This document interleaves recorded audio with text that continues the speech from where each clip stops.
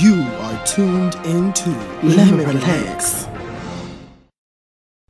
Hey, you guys, welcome back to another episode of Lemme Relax. Thank you to my Anchor family for riding out with me. Also, shout out to my YouTube family. The full, uh, the episode for this whole, or the, god damn it, the link for this full episode will be down below in the description box, as will all future episodes.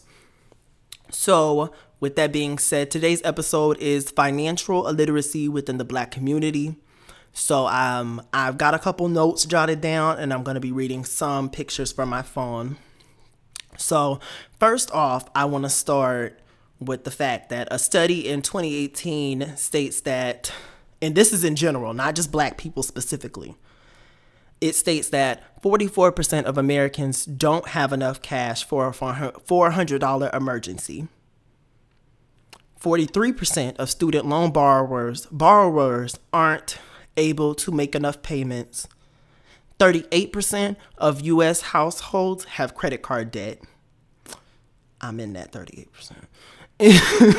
and 33% of American adults have $0 saved for retirement um, 33%. So with that being said, that's just based on American standards. It's not even based specifically on the black community. So I don't want this to feel like, you know, we're, I don't want black people to feel like we're the only ones behind. America as a whole has a financial problem.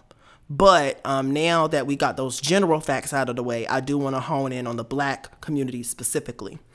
All right, real quick, this is a video that breaks down systemic racism and um, i feel like it's necessary to bring that up before i start talking about solutions. You gotta know the background of how we are really held back and why we can't just quote unquote bring ourselves up by the bootstraps so with that being said here is this video real quick. This is jamal. Jamal is a boy who lives in a poor neighborhood. He has a friend named kevin who lives in a wealthy neighborhood. All of jamal's neighbors are african american and all of kevin's neighbors are white because Jamal's school district is mostly funded by property taxes, his school is not very well funded. His classrooms are overcrowded, his teachers are underpaid, and he doesn't have access to high quality tutors or extracurricular activities. Kevin's school district is also funded by property taxes, so his school is very well funded. His classrooms are never crowded, his teachers are very well paid, and he has access to high quality tutors and lots of extracurricular activities. Kevin and Jamal live only a few streets away from each other. So how come they're growing up in such different worlds with such different opportunities for success? The answer has to do with America's history of systemic racism. To understand it better, let's look at what life was like for Kevin and Jamal's grandparents. Decades after the Civil War, many government agencies started to draw maps dividing cities into sections that were either desirable or undesirable for investment. This practice was called redlining, and it usually blocked off entire black neighborhoods from access to private and public investment. Banks and insurance companies used these maps for decades to deny black people loans and other services based purely on race. Historically speaking, owning a home and getting a college education is the easiest way for an American family to build wealth. But when Jamal's grandparents wanted to buy a house, the banks refused because they lived in a neighborhood that was redlined. So Jamal's grandparents were not able to buy a home, and because colleges could prevent them from attending through legal segregation, their options for higher education were really scarce. Kevin's grandparents, on the other hand, got a low interest loan to buy their first house and got accepted into a handful of top universities, which traditionally only accepted white students. This opened up a wealth of opportunities that they were able to pass on to their kids and grandkids. Even as late as the 1980s, an investigation into the Atlanta real estate market showed that banks were more willing to lend to low-income white families than to middle or upper-income African American families. As a result, today, for every $100 of wealth held by a white family, black families have $5.04. A 2017 study confirms that redlining is still affecting home values in major cities like Chicago today. This explains how Kevin and Jamal inherited vastly different circumstances. Unfortunately, the story doesn't end there. A big part of systemic racism is implicit bias. These are prejudices in society that people are not aware that they have. Let's go back to Kevin and Jamal. Against all odds, Jamal manages to be the only student from his high school to get accepted into a great university. The same one that Kevin and his high school friends are attending. But after Kevin and Jamal both graduate, Jamal notices that his resume isn't drawing as much interest as Kevin's, even though they graduated from the same program with the exact same GPA. Unfortunately for Jamal, studies show that resumes with white sounding names get twice as many callbacks as identical resumes with black sounding names.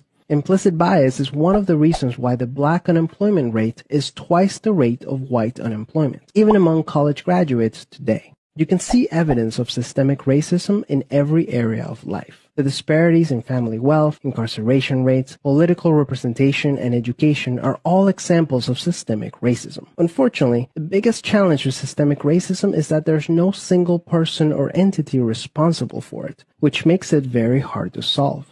So what can you do? The first thing you can do is work towards becoming more aware of your own implicit biases. What are some prejudices that you might hold that you're not aware of? Second, let's acknowledge that the consequences of slavery and Jim Crow laws are still affecting access to opportunity today. As a result, we should support systemic changes that create more equal opportunities for everyone. Increasing public school funding and making it independent from property taxes would be a great start so that poor and wealthy districts can receive equal access to resources. Systemic problems require systemic solutions. Luckily, we're all part of the system, which means that we all have a role to play in making it better. Peace.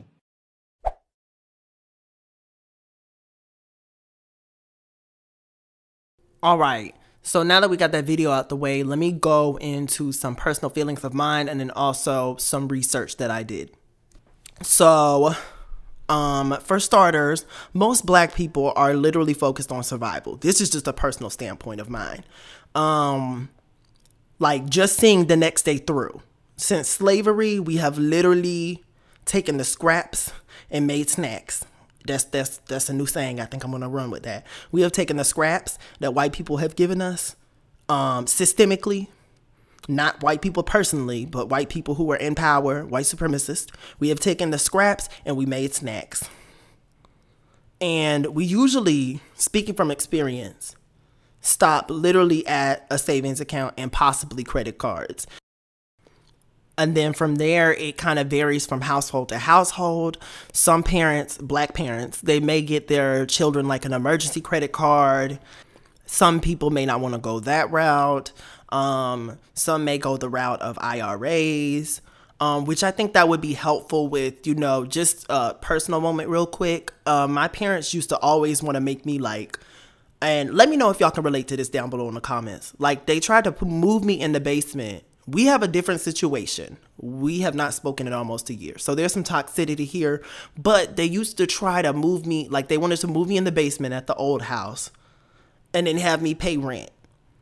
And then they also wanted me to pay rent to stay with them last year after I had gotten a certain age, which I don't think that would be a bad idea if you're gonna put the money into like an IRA or do something with it. If it's just gonna go to regular bills, I don't believe in that shit. I'm not gonna do that shit with my kid. Not everybody leaves at 18, 21. You know, now my kid ain't gonna be 30 still laying up with me comfortably. 30? No, that's unacceptable. But you know what I'm saying? I believe we're a little too quick to push our kids out. Um but we got a little off topic there. It just depends on from household to household what you want to do. Some black people are um opening up shit in their kids' names, and I'm gonna need y'all to stop doing that trifling shit. But we ain't gonna talk about that. Let me relax.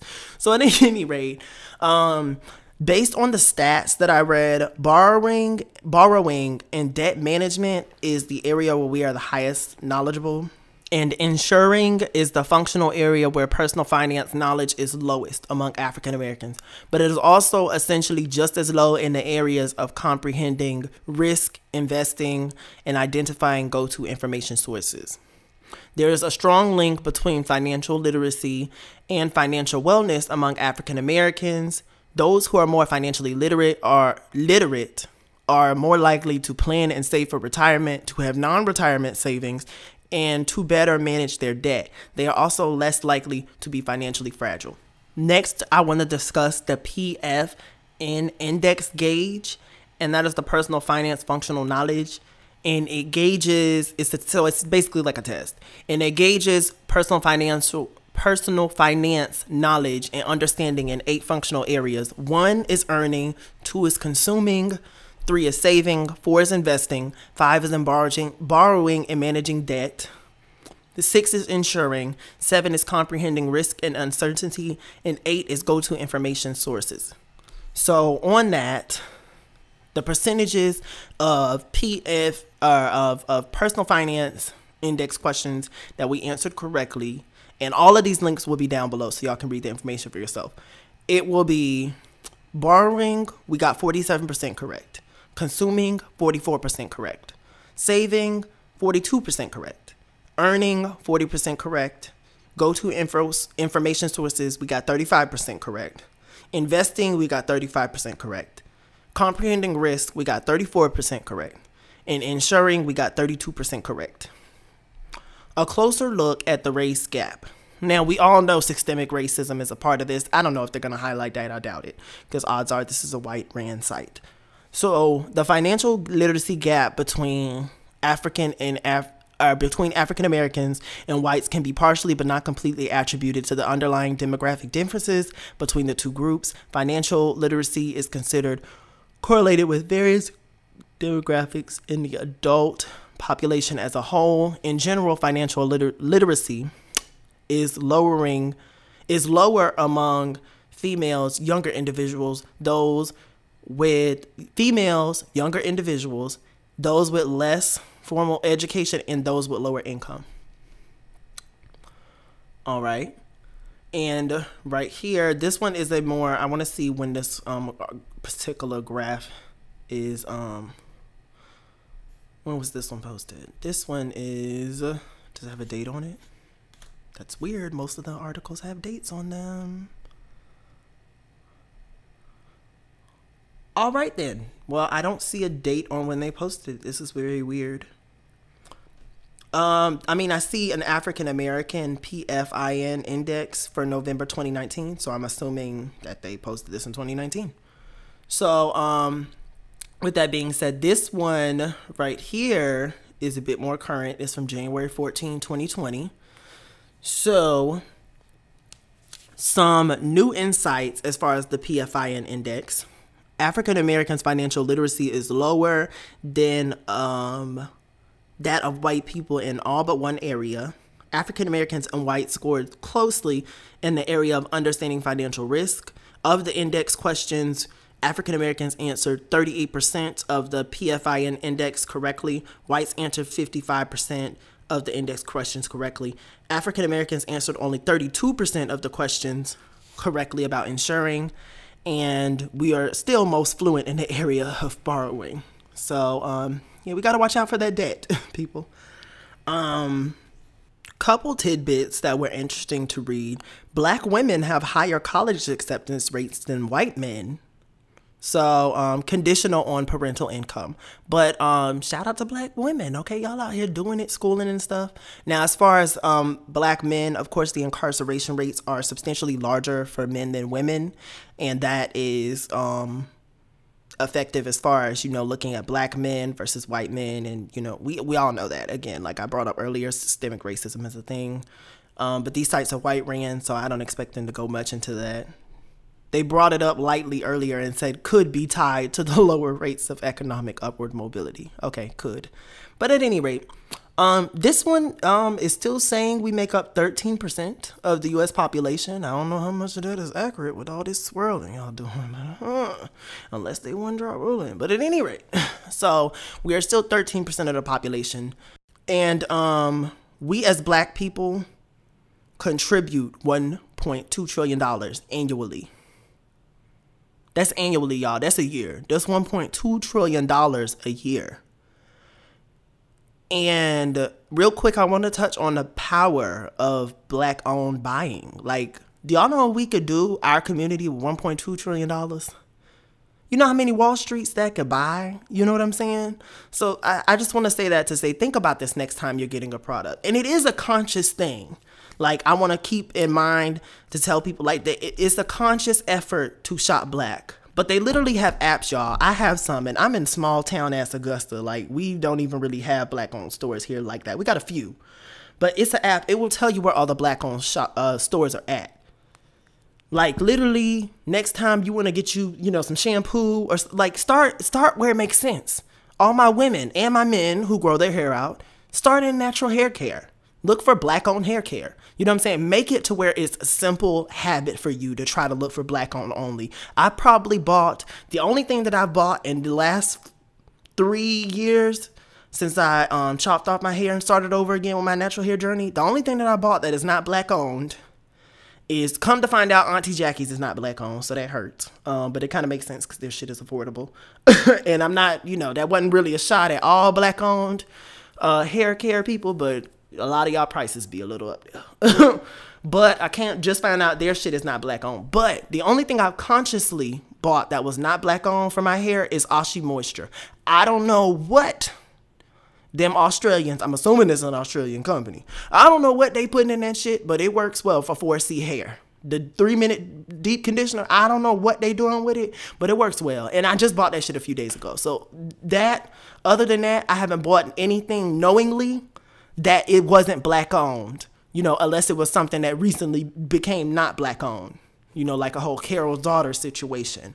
And for those who want to know what happened with Carol Daughters or don't know, she couldn't keep shop. She could not keep shop. So we as black people, we need to support our own. And we also need to come to the fact and realization that inclusivity is not what black people need. It is okay to be community minded and about your race. That is what other race of, of people do.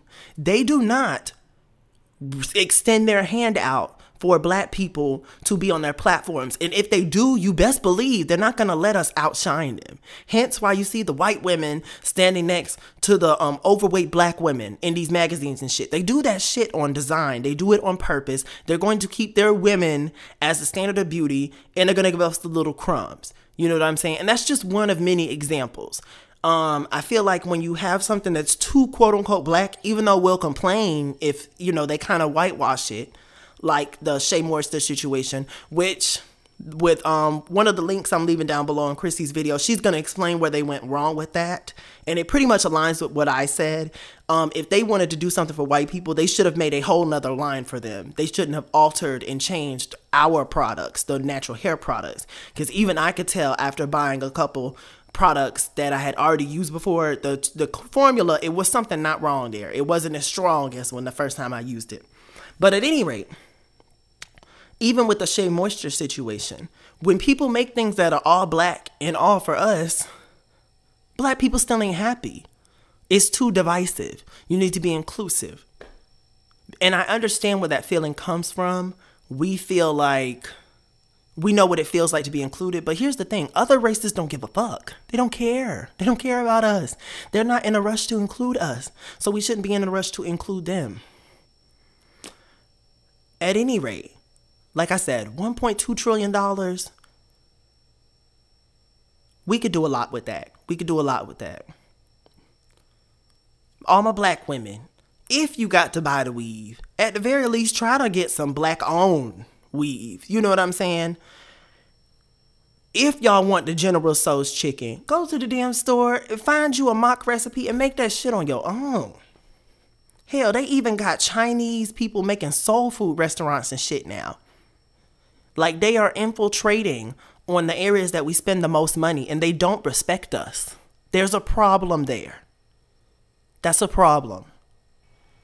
At any rate, some helpful tidbits for me personally would be for investing, you could use the Stash app and the Acorns app Hey, you guys, if you would like to hear the rest of this podcast, please check me out on anchor.fm, Apple Podcasts, Spotify, and all other podcasting platforms. Thank you for listening.